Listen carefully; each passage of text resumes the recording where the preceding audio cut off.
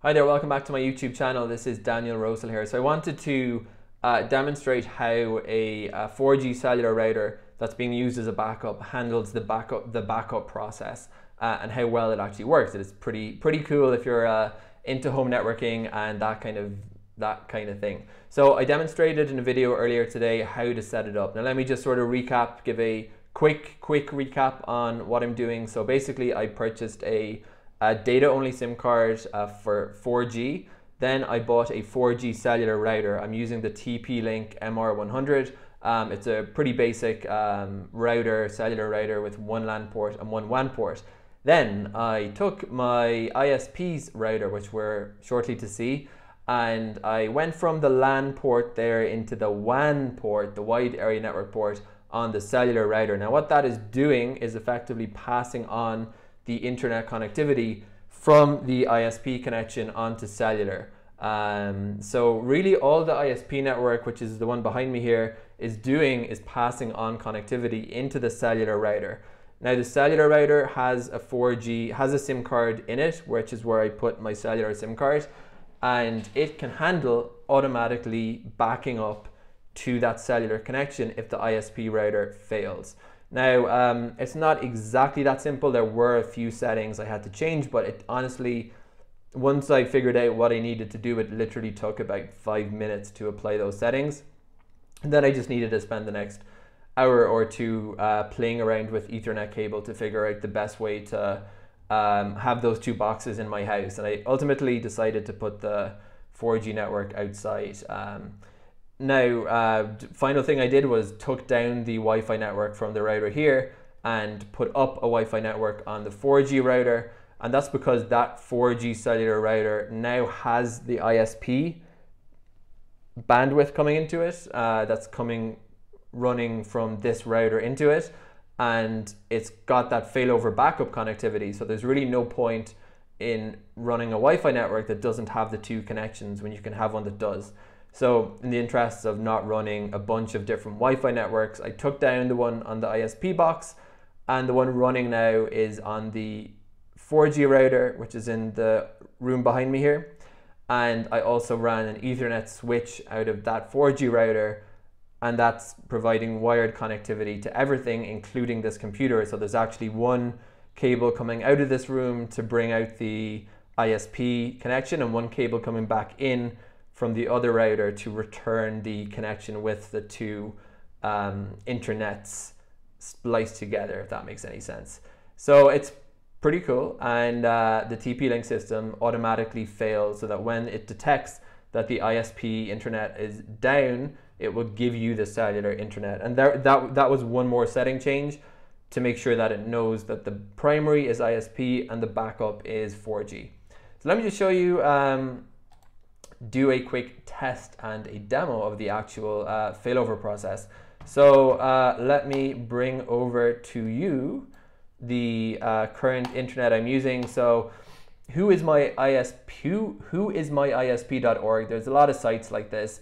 And I'm, I've just done this awkward cropping because I'm hiding my IP address here. Uh, you can see I'm currently with Partner Communications, which is my ISP. And if I do the internet speed test, I'm going to just refresh the test you can see I'm probably getting something like 40-ish megabits per second and that unfortunately is about the best internet I can get in uh, this part of the world. Uh, now that's fine but that internet frequently stopped working for hours and sometimes even a couple of days at a time so that's why I sort of uh, did the system. So currently on ISP internet now let us do the experiment, uh, home networking experiment. So I'm just going to swap over to, I have rigged up a camera and uh, positioned it in front of the ISP router in my room. Uh, that's what you're looking at there. And uh, what you can see here, I've just uh, flipped it around so you can see the ports. Um, that port on the left, uh, the gray port, is the RJ is the DSL port, I believe. So it's RJ11.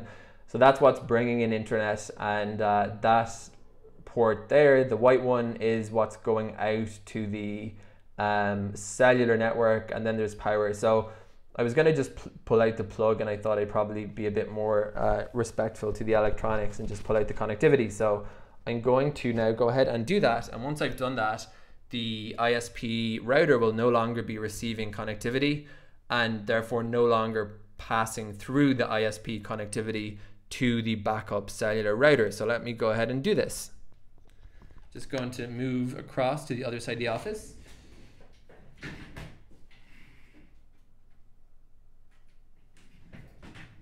Okay, so as you can see, that took all of half a second. I've gone ahead and plugged out the, um, I believe it's DSL. I may be mistaken, but I'm, pre I'm pretty sure that's what that is.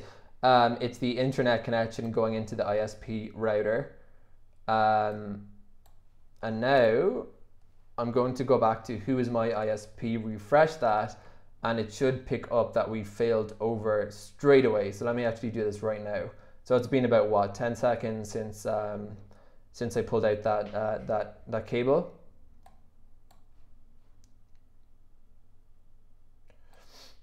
And let me just go over now. Who is my ISP? Do a refresh.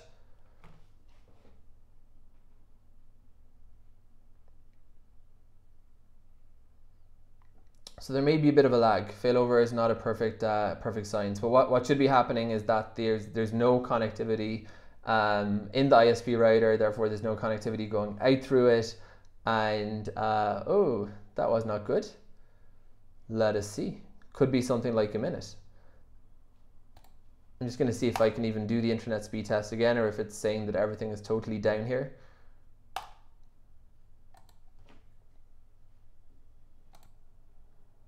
Okay, so um, I just paused the video for about 10 seconds. Now it was not instance in total. I have single single offline detection mode is what I have it set to. Um, it wasn't, it was not instant, but it took about 30 seconds and um, it did happen fully automatically, which is I guess the main point, right? So now it's saying Xfone 018 is my ISP and that is uh, We4G is basically a brand of uh, Xfone and that's the 4G SIM card I'm using. Now if I go into this website, uh, internet speed test, I'll just do a refresh now that the connectivity is picked back up and you're probably seeing much much slower speeds and uh, generally speaking it seems like the internet is struggling to operate um, but uh, one sec so I'm just going to do a uh, refresh on this page and we'll see what results we get okay so we're now measuring and yeah it looks like really really really slow connectivity so that backup connection is generally not very impressive to say the least. It's like less than one megabyte. Uh, but I just typed in does the internet work just to verify that there is some connectivity. So clearly given the fact that the um, ISP's router or you know uh, networking is being pulled out, this has to be, there's no other explanation um, other than that it's coming from the cellular, it's coming from the 4G SIM card. Um, so that is that is basically uh, the test of failover. So in conclusion, what I guess what I demonstrated or figured out was that the failover process wouldn't say it was instant.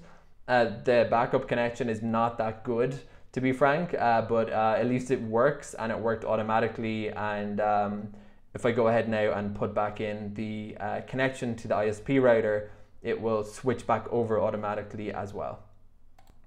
Hope this uh, video was useful. If you'd like to get more videos from me on uh, technology, Linux, home networking, and other subjects that I am interested in, and so are other uh, people of, of this of interest in these things, then feel free to subscribe.